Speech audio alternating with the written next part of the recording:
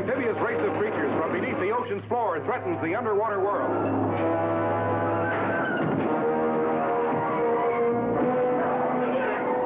Fire one and three.